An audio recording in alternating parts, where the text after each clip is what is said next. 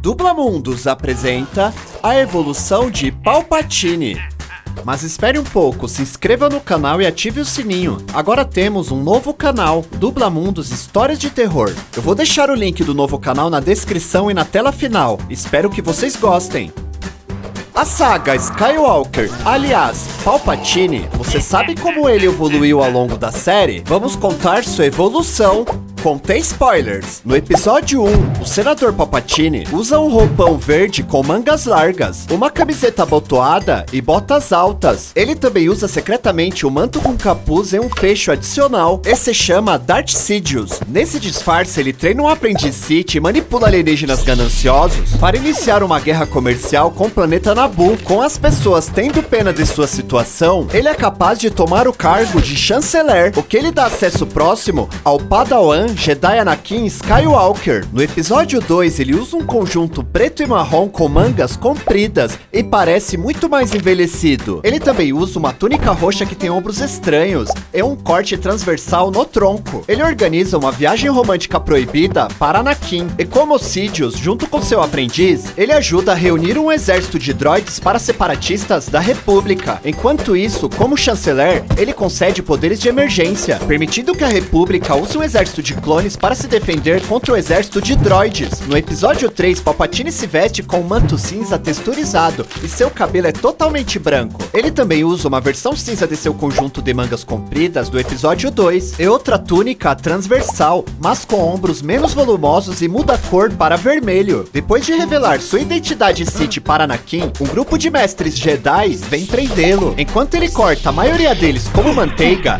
um dos Jedi reflete seu raio de volta para ele o que revela seu rosto desfigurado, olhos amarelos e dentes podres. Ele recruta Anakin para ajudá-lo, dando-lhe vantagem. Ele então tomou Anakin como seu novo aprendiz, o incrível Darth Vader, e cobre sua desfiguração com um manto preto. E depois ele ordena que seu exército de clones executem os Jedi restantes. Seu novo traje Sith consiste em túnicas vermelhas com uma placa de ombros pesada e um longo padrão na frente, e também túnicas marrons com detalhes escuros nos ombros, mangas ajustadas e um fecho triangular. Vestido com seu traje de Sidious, ele e Darth Vader reinam em seu novo império. Em O um Império Contra-Ataca, Palpatine inicialmente se parecia com uma velha com próteses salientes e olhos de macaco. Embora no lançamento do DVD, ele pareça com seu velho eu do episódio 3. Mas ele só tem uma conversa rápida de holograma com Vader para falar sobre seu filho. Então vamos seguindo. Em O Retorno de Jedi, Palpatine vem supervisionar a conclusão da segunda Estrela da Morte. Ele agora usa uma bengala, veste uma túnica detalhada com cinturão e seu rosto parece menos inchado com sombras suaves. Ele tenta convencer o filho de Vader a se tornar seu aprendiz, mas depois de ser rejeitado, Palpatine o atinge com um raio, apenas para Vader jogá-lo em um poço,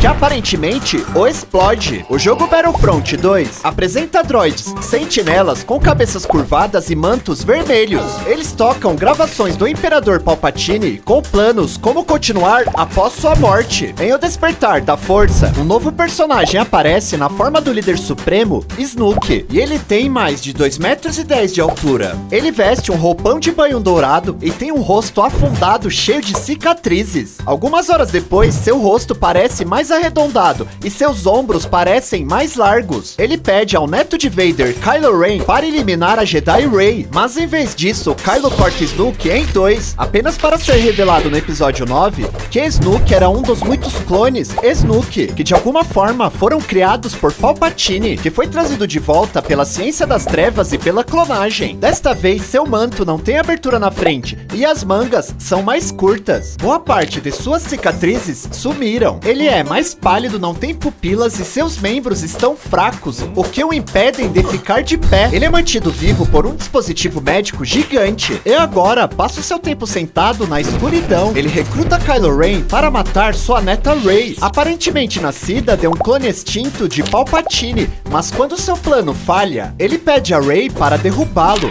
para que seu espírito possa entrar nela. Ela se recusa e em vez disso, ele suga o poder da força dela e de Kylo, restaurando seu corpo e permitindo que ele deixe seu sistema de suporte à vida. Ele então troca suas vestes antigas por roupas novas, além de um cinto eletrônico. Apesar de seu aparente poder ilimitado, quando Rey desvia seu raio com o segundo sabre de luz, ele é facilmente dilacerado, o que encerra o reinado de Palpatine, até que os próximos clones subam ao poder. Será?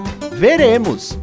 Se você estiver gostando dos vídeos, conheça também nosso novo canal, Dubla Mundos Histórias de Terror. Se você puder, me siga no Instagram para acompanhar todas as novidades dos canais. Vou deixar o link na descrição.